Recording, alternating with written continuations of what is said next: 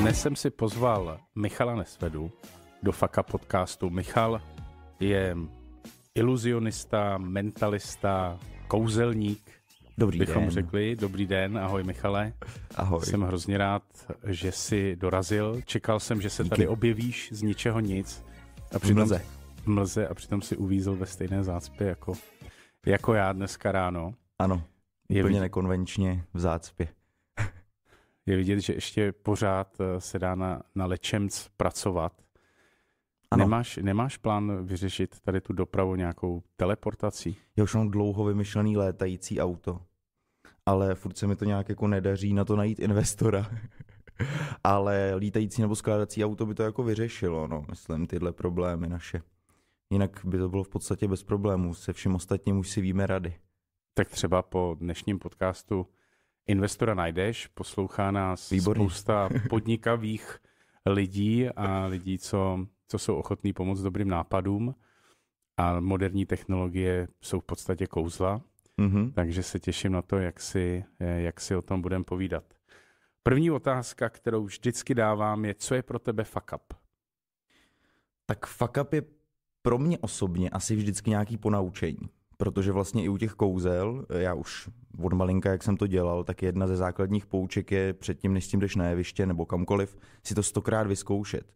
A to není úplně asi proto, aby si to jako zažili, když taky samozřejmě, ale protože si vyzkoušíš spoustu těch situací, které tě na začátku nenapadnou, že by se mohly stát.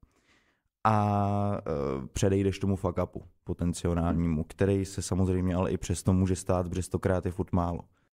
Takže ty máš takový agilní přístup k tomu kouzelnictví, že neustále testuješ, iteruješ, odlaďuješ, vytváříš takový ten minimální viable product, jak, jak, jak se říká ve světě startupů, tak je tam spousta, spousta podobností, to vypadá. Jo, jo, jo, asi i v tom, že to testuju samozřejmě jako každý, když něco vyvíjí, tak to testuju na svém okolí, na své rodině a je vždycky nutím, aby mi to dělali co nejvíc složitý, aby se prostě zkusme ještě jako trošku podrazit tady v tom, nebo co by se stalo, kdyby se tohle nestalo. Tomu se říká extrémní uživatelé zase v antíce. Ty se soustředíš na ty extrémní, na ty nejhorší, který to naprosto odmítají, nebo ty, který jsou naprosto nadšený a tím odladíš ten svůj produkt. Ten produkt ehm, je jakýsi zážitek, zkušenost, Mhm. které se dá říkat eh, kouzlo, magic.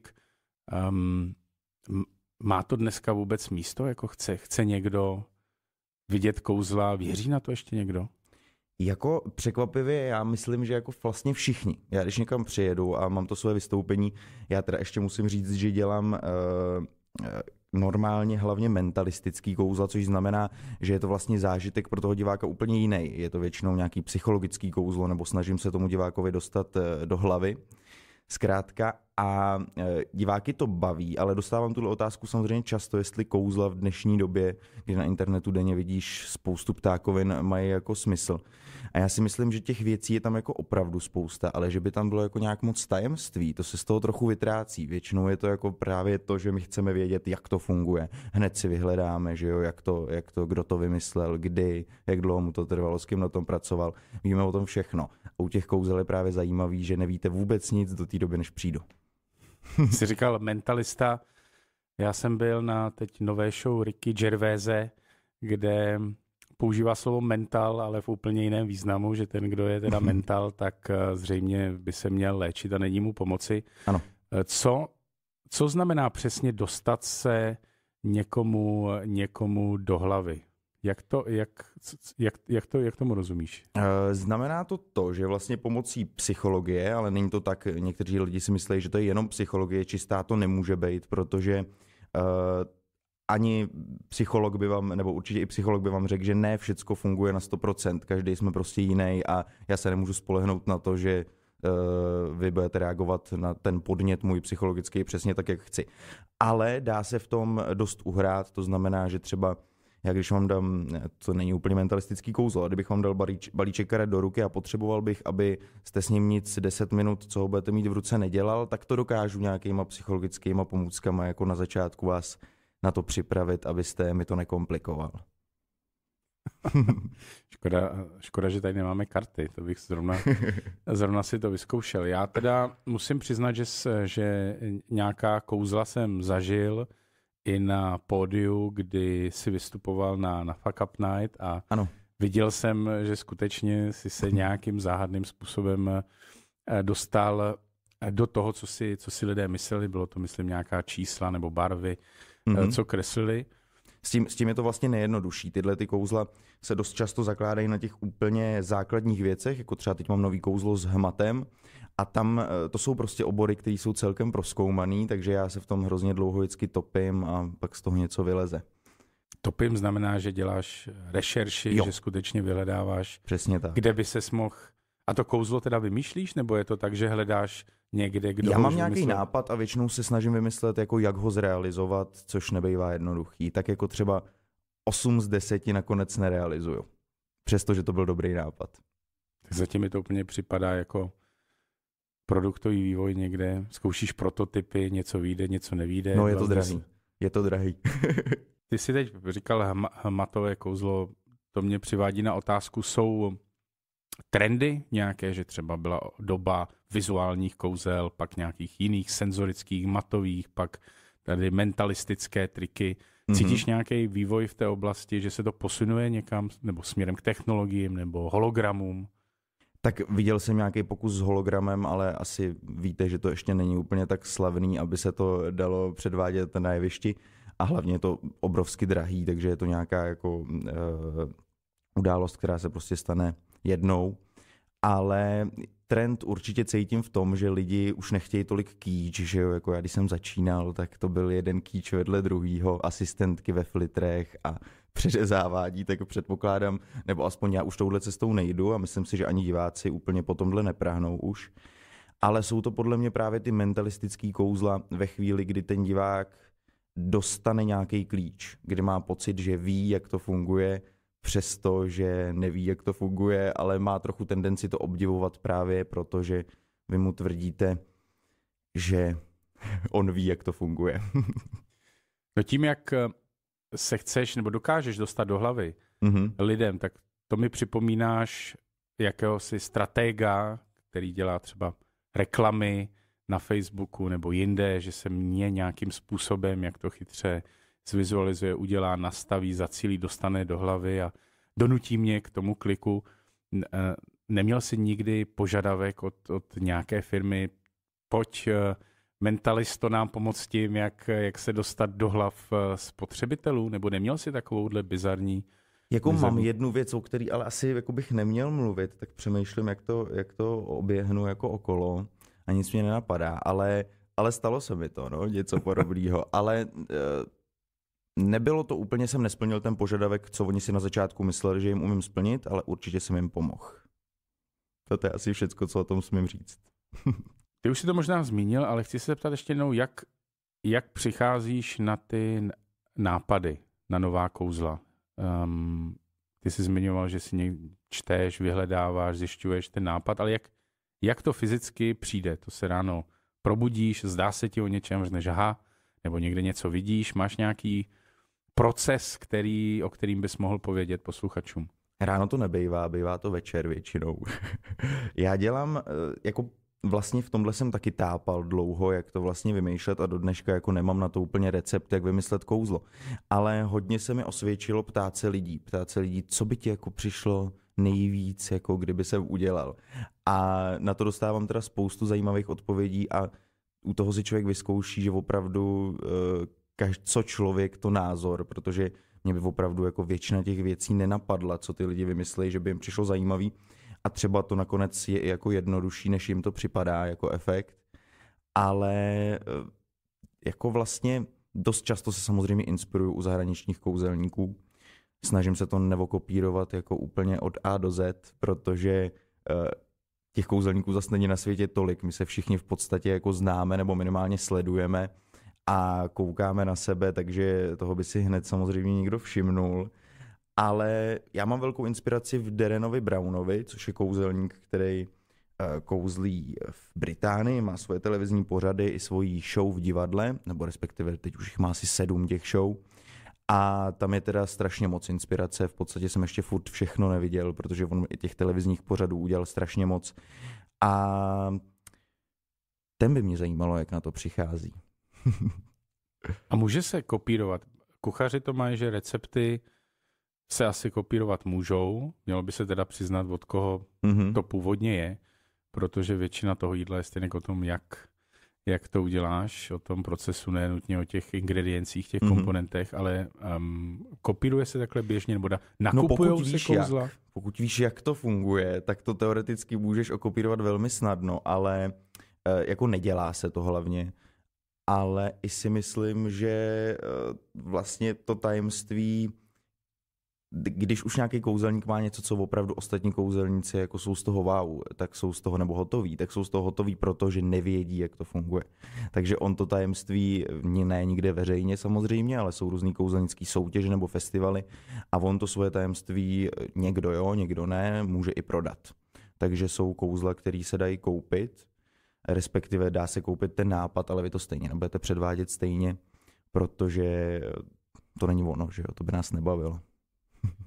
Prosím tě, když někdo uvažuje o tom, že rozjede kariéru nebo biznis kouzelnický, jak, jak bys mu doporučil začít? Já mám pocit, že to je trochu jako u herectví, nedoporučoval bych s tím začínat. Není to úplně jako jednoduchý, ale kdyby, takhle, myslím si, že určitě je to super koníček takže kdyby někdo chtěl jako s kouzlama začít jako s koníčkem, tak to je určitě výborný nápad. Já si i myslím, jak se mě ptal na začátku, jestli uh, je v, proto v téhle době místo, tak já si myslím, že je to právě to, co jako hodně těm dětem, já když to vidím na svý ségře, tak co jim hodně chybí, že nedělají nic manuálně, že je to všecko prostě jenom klikání nejvíc ukazováčkem, že jo, na tom tabletu a tohle je strašně kreativní, eh, používá se to dokonce i jako terapie, kouzla, protože když se člověk naučí nějaký hmat těma rukama, když jsou to nějaký jako eh, kouzla, které jsou zaruč, eh, založené na zručnosti, tak eh, to pomáhá tomu mozku a je to takový, je to jako relax v podstatě se dá říct. A teď jsem asi ztratil otázku trochu. Co bys doporučil někomu, jak, zač- jak začít? Jak začít? Tak já jsem začal tak, že jsem chodil do kouzelnického kroužku, který vlastně byl v Kobylisích, nevím, jestli tam do dneška je, vedl ho pan Randáček, což byl tehdy Eh, prezident Českého magického svazu, což je taková Český, organizace. Český magický svaz. Ano. což je organizace, která teda združuje v Česku kouzelníky. Já v ní teda nejsem, ale furt funguje. A uh, určitě, když si dáte jejich web, tak tam eh, vám vyjede, že asi v Praze je, myslím, pět nebo šest kroužků takových nebo klubů, kam se dá přihlásit. Ale uh, není to tak jednoduchý. My jsme všichni na začátku museli složit takové zkoušky, a vlastně takový slib, že nic neprozradíme a pak teprve se do toho můžete vrhnout. A ty zkoušky, to bylo, co, jak, co se tam zkoušelo? To vypadá tak, že vlastně vy potom, co tam nějakou dobu chodíte a oni vám toho moc neprozradějí, abyste jako byl furt napnutý a měl chutit do těch zkoušek, tak uh, si připravíte nějaký číslo, já tuším, že tak kolem deseti minut třeba mohlo mít, a pak se udělá takový jako slavnostní večer, kde vy buď s někým dalším, když je někdo jako zájemce, do toho klubu vstoupit a složit ten slib. Eh, předvedete to číslo pro diváky a vlastně ty, eh, ti kouzelníci potom hodnotí, jestli jako to bylo na to vstoupit do toho klubu nebo ne. Taková zkouška před, před komisí, ano. jestli tady ten kouzelník byl dostatečně kouzelný na to, aby jsme ho přeli. A ten slib, co se tam říká, to já si pamatuju možná ještě pionýrský slib, ale Pamatuješ si? Ne, uh... nepamatuju si to. Já si myslím, že mi bylo tak jako třeba jedenáct, když jsem to dělal, ale, ale určitě se tam prostě slibuje, že se kouzla neprozrazují, což je věc, která je určitě důležitá, to všem jako zdůrazňují. Je to něco jako Hippokratova přísaha mají lékaři, tak vy máte, já nevím, přísahu, nebo říká se tomu nějak? Uh, já to ne, vůbec vlastně nevím. Teď nad tím přemýšlím, jestli to byla nějaká jako přísaha, která se říká všude, jako když kouzelníci přísahy. Myslím, že ne. Myslím, že ne. No, takže já, já mo- mohu teďka zvažovat, že eh, třeba já bych na stará kolena změnil kariéru a začal kouzlit, tak bych se přihlásil do kroužku mm-hmm. a um, pak teda dostaneš, pak projdeš nějakým základním školením a dál už je to na tobě, jak si, ano. jak si to postavíš, zařídíš, kde mm-hmm. čerpáš inspiraci. Ty máš toho Derena Brauna. Mm-hmm. Jaký jsou další kouzelníci, který, kteří slouží jako inspirační zdroj? Určitě Penn a to jsou americký kouzelníci, kteří jsou úplně super, dělají to taky celý život, takže, takže je to na tom hodně vidět a oni dokonce právě proto, že to dělají takhle dlouho, tak eh, a jsou vlastně dva, jsou to je to takový komický duo, jeden z nich nemluví vůbec a ten druhý mluví až moc. A e, dělali teda výborný kouzla. Není to jako když koukáte na Richarda Nedvěda, ten je taky vtipný, ale kouzel se tam moc nestane, tak tyhle opravdu dělají kouzla u toho. A to je velká inspirace. Samozřejmě Copperfield, tak ten funguje jako pořád. Já jsem byl ve Vegas na asi čtyřech kouzelnických show a furt byl ten Copperfield prostě nejlepší, no. On to umí.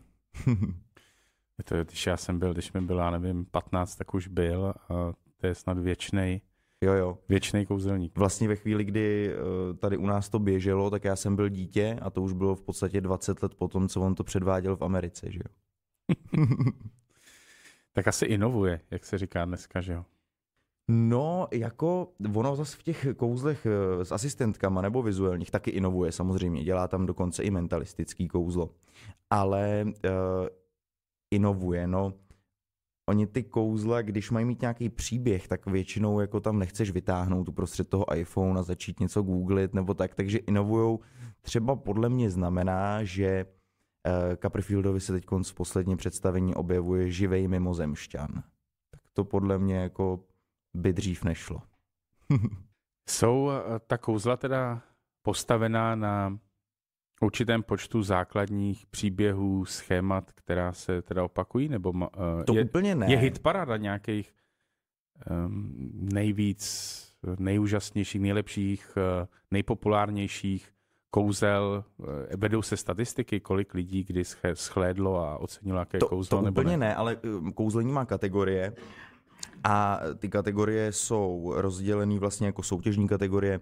Jsou eh, manipulace, mikromagie, iluze eh, a tak dále. Pak je to nějaká všeobecná magie, to jsou ty věci na jevišti eh, s šátkama a skytkama, co už nikdo nechce vidět, ale furt se to dělá. Tak takhle se to rozděluje, ale potom vlastně kouzel není zas tolik, že jo? protože můžete něco nechat objevit, můžete něco nechat zmizet, můžete něco předpovědět, může něco lítat, může to změnit barvu, přemístit se to a skoro končíme. Takže ono, eh, tohle jsou ty základní vlastně věci, které se můžou stát. A pak už je to o tom, že vy musíte něco vymyslet kolem toho. A ono to nakonec nemusí být vůbec objevení nebo zmizení, že jo? protože uh, to kouzlo ve výsledku může být vlastně, že vy jste si toho objevení a zmizení ani nevšimli, ale mělo to tam úplně jiný význam. No, nemůžu se nezeptat, jestli se ti nějaká kouzla někdy nepovedla, protože to je faka podcast, mm-hmm. tak um, můžeš aspoň nastínit, uh, jestli se ti něco někdy nepovedlo a co ti to, co ti to jako dalo, co ses naučil díky mm-hmm. tomu. Já myslím, že neexistuje kouzelník, kterýmu by se něco nepovedlo. Jo? Opravdu v tom kouzlení to tak prostě je a člověk se nemůže připravit na všechno ale přemýšlím, co bych dal tak jako k dobru, co se mi stalo. Hned si vzpomenu vždycky, když jsem vystupoval ještě s asistentkama, tak jsme měli takovou hrozně velkou rekvizitu, do které jako oni lezli a už to bylo nějak pozdě večer. Asistentka předtím pila alkohol a vylezla celá jako od uh, tekutiny žluté barvy, tak to nebylo vůbec hezký, tak to třeba bylo pro mě jedno z nejpříšernějších zážitků, co se tohohle týče, ale já z, jako ze zásady, eh, takhle, ještě jsem si vzpomněl, v dětství se mi stala parádní věc, to mám dokonce natočený. Já jsem uh, byl inspirovaný Danem Nekonečným jako dítě a nějak jsem měl jako úchylnou touhu spojit kouzla a Dana Nekonečného. Takže mi tam lítaly jiskry všude a bylo to takový hodně barevný a dokonce jsem sehnal nějaký kožich, že jsem nosil. Krásný to bylo. A tam jsem dělal kouzla s takovýma péřovými prachovkama. A jednou, jak vystříkli takhle ty jiskry, tak s tím zároveň chytli i ty prachovky. Jenom se začoudilo a schořelo všecko to peří, to trvá asi vteřinu, než to schoří. Takže to byl krásný efekt. Ale chtěl jsem říct, že ze zásady nedělám nebezpečný kouzla. Protože u kou... teda takhle, nedělám nebezpečný kouzla s divákama. Sám na sobě, jo, to, to dělám, ale s divákama je nedělám, protože bych si to prostě nedovolil, no. A stává se dokonce, že se to jako nepovede kouzelníkům teda jiným, tyhle ty nebezpečné věci. A jsou z toho pak velmi zajímavý videa na YouTube, doporučuji někdy schlídnout, když se budete nudit. E, neukazovat to teda dětem, protože jsou tam i dost brutální věci, jako ono, když přeřezáváte asistentku a nepovede se to, tak to není úplně dobrý.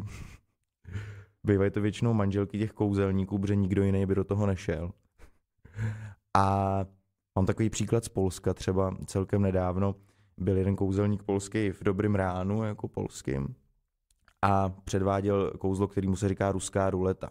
To vypadá tak, že je hřebík zabodlej v dřevěné desce špičkou nahoru a e, ten hřebík se zakryje sáčkem papírovým, dají se ještě čtyři sáčky papírový další vedle toho a míchá se tím. A kouzelník a divák nevidějí, e, jak jsou zamíchaný ty sáčky, kde je vlastně ten hřebík a pak postupně e, rukou srážejí ty sáčky vlastně na stůl, zmačkaj No a tenhle kouzelník byl tak odvážný, že ten poslední sáček, respektive předposlední, než se jako má odhalit, že v tom posledním zbývá hřebík, to nechal udělat moderátorku toho dobrýho rána, takže moderoval už jenom sám moderátor zbytek rána. Takže když si budou moderátoři tady těch pořadů zvát kouzelníky, tak hlavně ověřit, jestli náhodou nenesou hřebíky a sáčky. A, ať si zvou mě, to bude jednodušší. Ať si pozvou Michala Nesvedu ten nějakým mentalistickým trikem se dostane do hlav moderátorů ranních pořadů. Takhle, musím říct ještě, že se o to pokusím.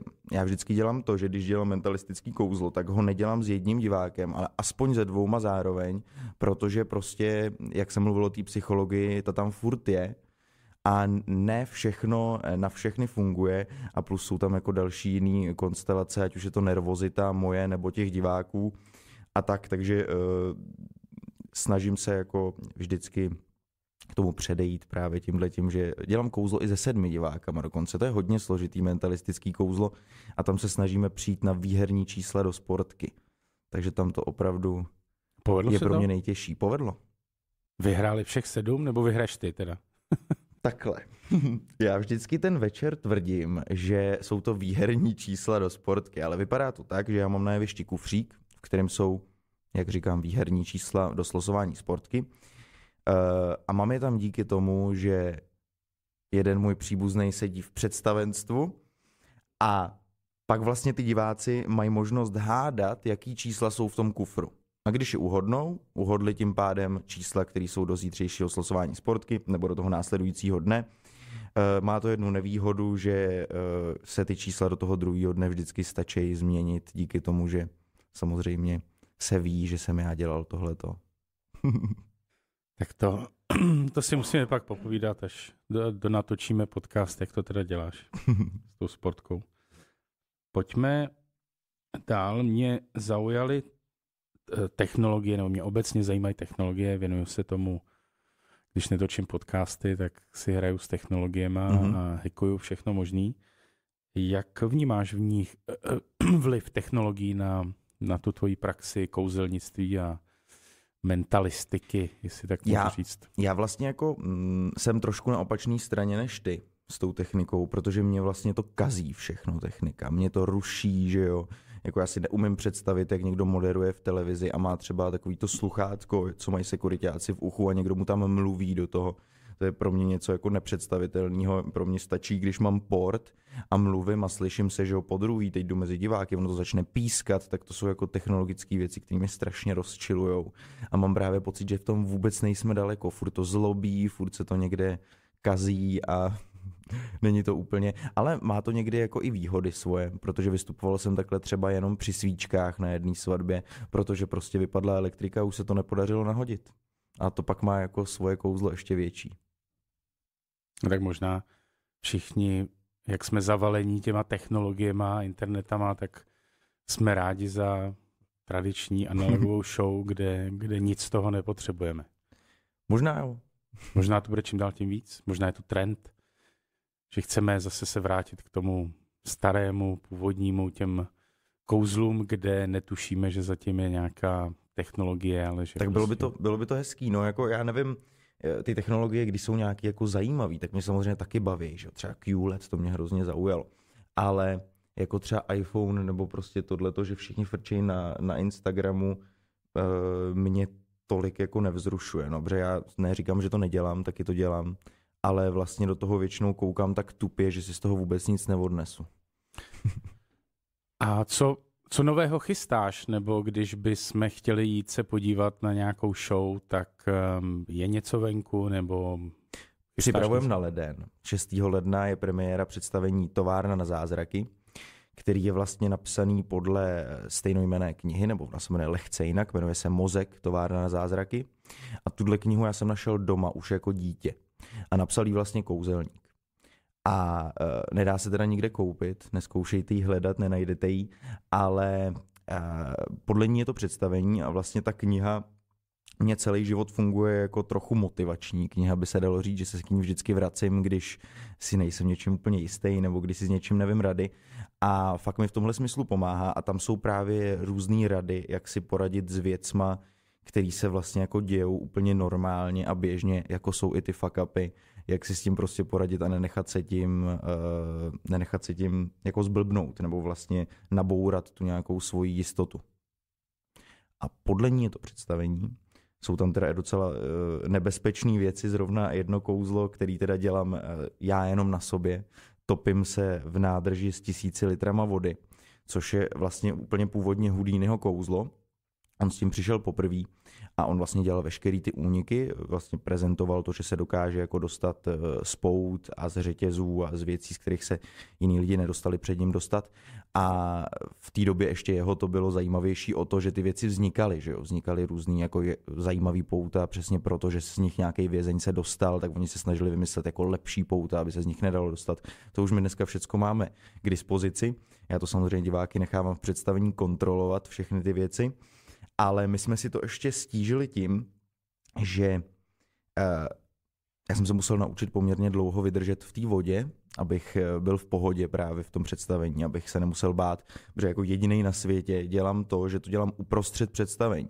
Nedělám to jako jednu věc na začátku nebo na konci, nebo úplně samostatně, což je samozřejmě nejpohodlnější, ale dělám to uprostřed představení a to je teda docela komplikace. Nemáte tam čas jako se rozdejchat nic, takže já, abych vydržel ty čtyři minuty v podstatě, co to jsou v představení, protože tam mám časový limit na to, vlastně měl bych se z toho dostat za ty čtyři minuty, to je ten cíl, tak uh, máme ještě uh, stížený tím, že vlastně my tam hodíme klíče od těch pout a zámků, v kterých jsem, do té nádrže a k ním přisypem další bednu plnou klíčů. Takže vlastně můj úkol je najít ty správné klíče, ty si dávám postupně do pusy a vlastně čekám, než najdu všechny a když najdu všechny, dám znamení a pak se velmi rychle dostanu ze všech těch řetězů a pout a jsem venku. Takže to je jedno nebezpečné kouzlo, ale vlastně to představení bylo, nebo ta knížka byla napsaná pro, uh, teď jsem ji málem jmenoval, což nechci udělat do 6. ledna, pro jednu velmi zajímavou dnes už paní, je jí strašně moc, to taky nebudu eh, říkat, ať je to tajemství ještě chvíli, ale to byla vlastně vnučka toho kouzelníka a on ji inspiroval velmi, protože ona eh, věřila na všechny ty jeho kouzla i v době, kdy on vlastně přestal, kdy měl trošku nějaký osobní problémy a přestával na ty eh, životní kouzla vlastně věřit. Takový to, když se k něčemu, na něco dáte, jako tak, když to třeba nejde, tak se vám jako začne honit v hlavě ta myšlenka, že toho třeba necháte, tak v tom ona mu hrozně pomohla a v tom mě jako strašně inspiroval ten kouzelník, nebo respektive celá ta knížka. A jsou tam jako úžasné věci, zrovna to s tím hmatem, je, je taky z tohohle představení, jak jsem říkal. Nevím, jestli jsem to úplně popsal, co se tam děje v tom hmatu, jestli tě to zajímá.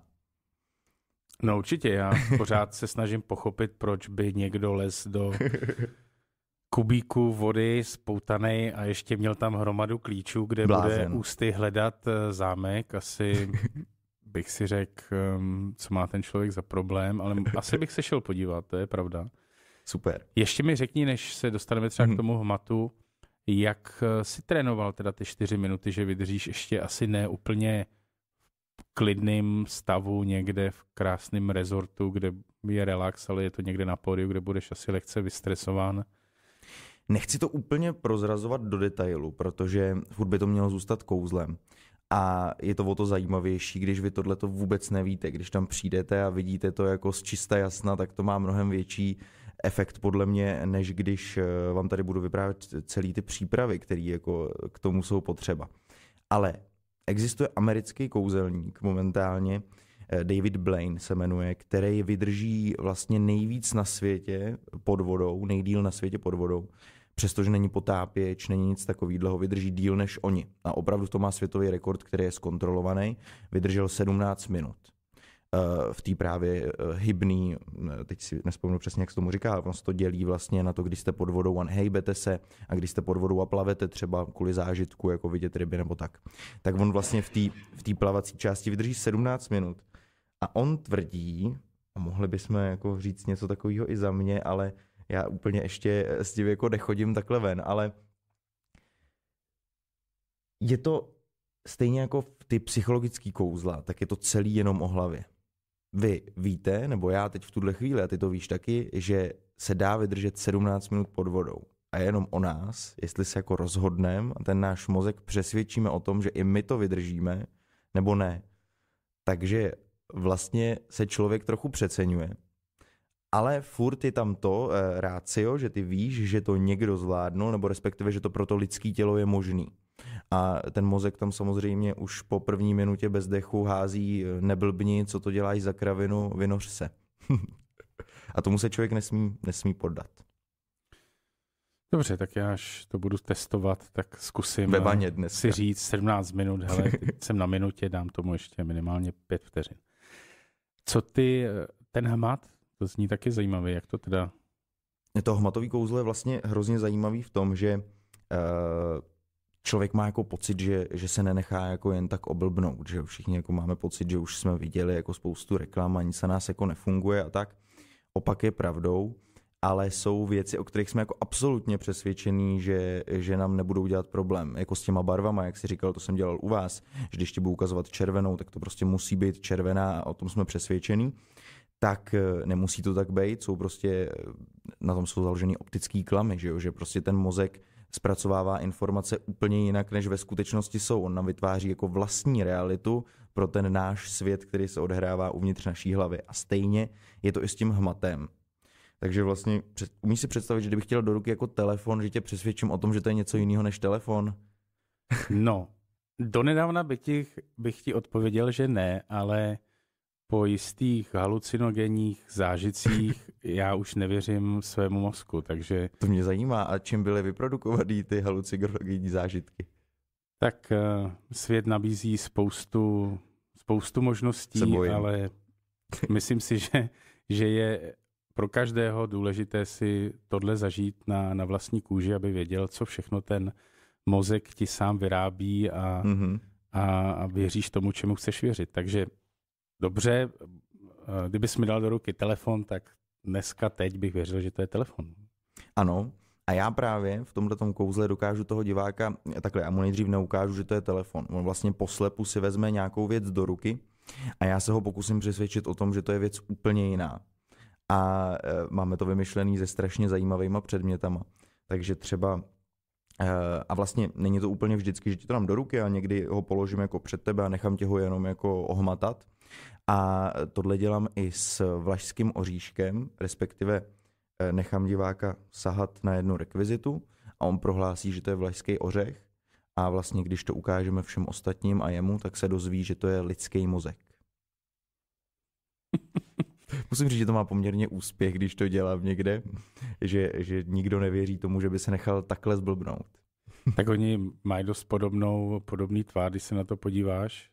Ano. Mají ty hemisféry, že jo, ty tam jsou taky. Ano. Ta, uh, tam je ta naše inspirace. A, do, vlastně. a dokonce, dokonce se říká jedna teorie, jak správně jíst, že bys měl jíst ty věci, které tvarem ano, připomínají ten daný orgán, takže já, já jim oříšky furt, ale ne, nepomáhá to. Mm-hmm, ale, ale zkou... jsou ale výborný na mozek, to no, je do, dobře děláš. zkouším, zkouším se upgradeovat.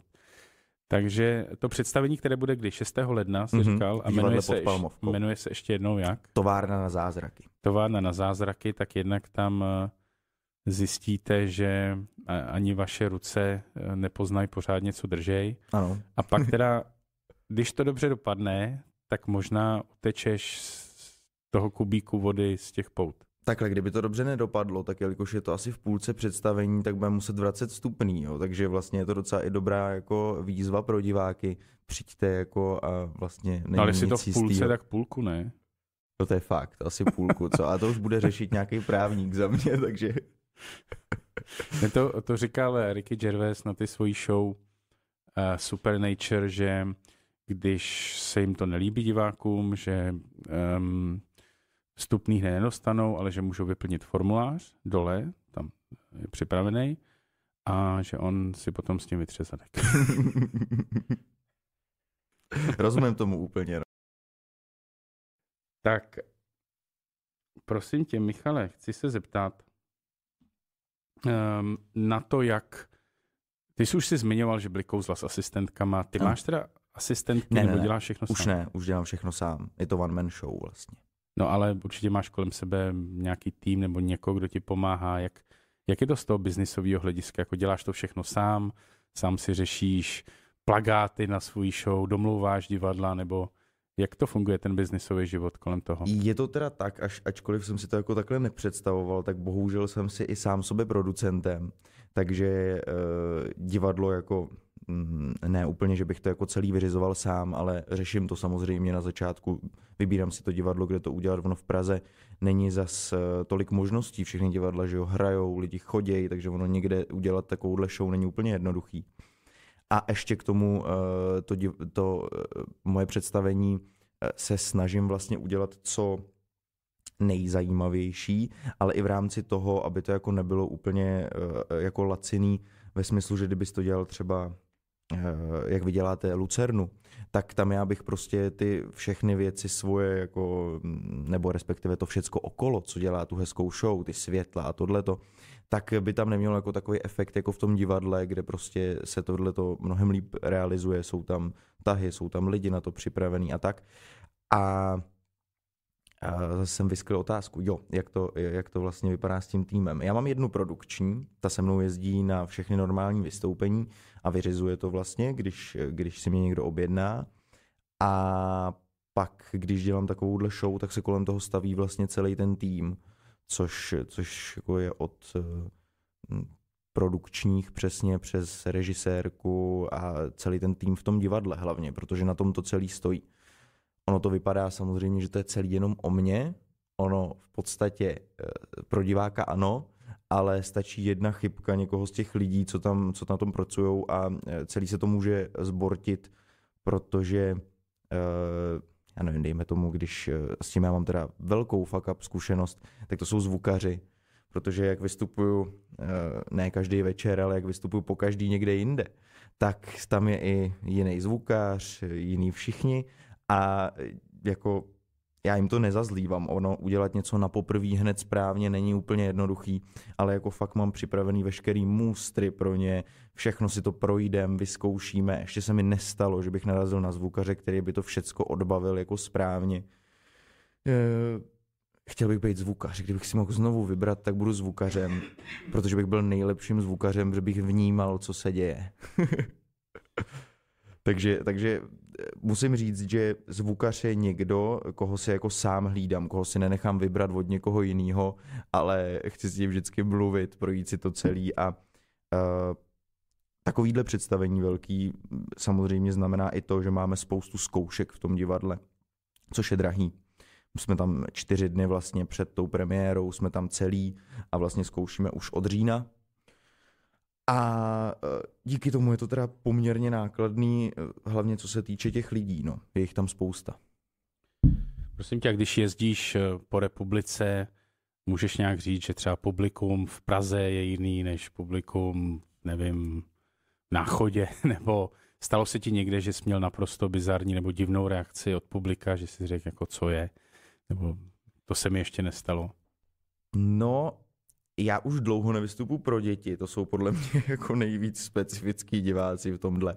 Ale vlastně si to jako neuvědomuju, až, až jako do některý takový ty eh, známý, jako známý věci, jako že prostě mluví jinak ty lidi, když si je vezmete na jeviště, eh, tak to mě jako baví vždycky, samozřejmě není to díky tomu stejný, ale nemám jako úplně pocit, že by lidi byli v tomhle rozdílní u nás.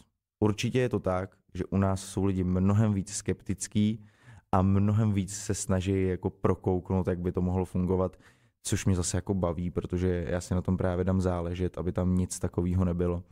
A oni mají pak spoustu práce, ale eh, vlastně když jako kouzlím kdekoliv venku, kdekoliv v zahraničí, tak ty diváci mají mnohem jako vřelejší reakce, nebo respektive ještě se jako skoro ani nestalo kouzlo a oni už často, je to jako s vtipem, jo, že se někdo už směje dřív, ještě než jako se došlo k pointě, tak to bývá u těch kouzel a u nás jako se stane kouzlo a lidi ještě jako čekají. Vlastně si to jako nechají v té hlavě jako projít, stalo to, co jako se jim říkám, že se stalo a pak teprve někdy dojde k té reakci.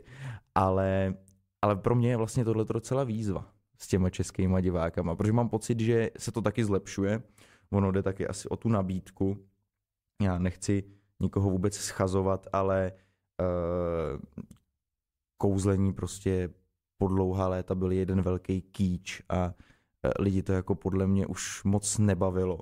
Respektive viděli pořád to samý, že jo, přeřezávání asistentky, myslím, že ne, neexistuje nikdo, kdo by neviděl, nebo vytahování králíka z klobouku, to sice se za stolikrát nepředvádělo, je to takový kliše, který, který prostě existuje. A u nás to je jako zní trošku pejorativně, že jo? Když někdo řekne kouzelník, tak to není úplně jako když řekne... Mentalista. Mentalista. Dejme no třeba chirurg, jo? Není to to samý.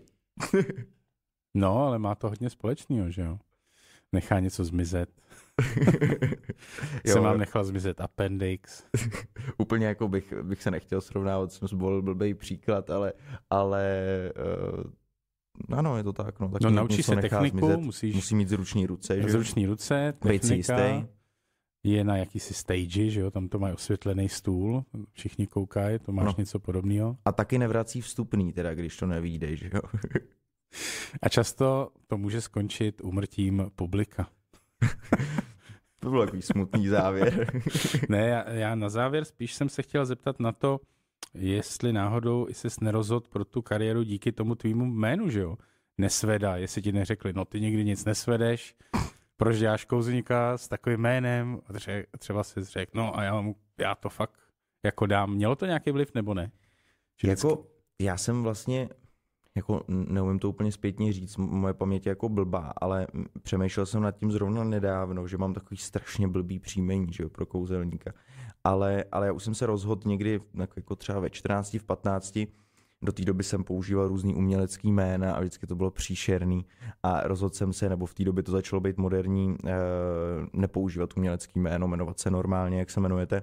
A vlastně v tom jsem se jako docela našel a bavilo mě to, že nemusím prostě si hrát na nějakýho Magic cokoliv, že vždycky je to Magic něco. A, a uh, jako je to pravda, no, Nesveda je to blbý jméno. Říkám si někdy, jestli to není předurčení nějaký. Jo, jako tomu jménu trošku jako dát za uši. no, takže Michale, já doufám, že mu dáš zase za uši 6. ledna. Ano na tvé nové show, že to zvládne, že se z té vody dostaneš a jsem hrozně rád, že jsi byl hostem eh, podcastu, Faka podcastu, kdy vše je dovolené, nic není správně ani špatně. Já a taky děkuji. Bylo příjemné si tady povídat, takže díky a... Pro mě taky. Ahoj. Ahoj.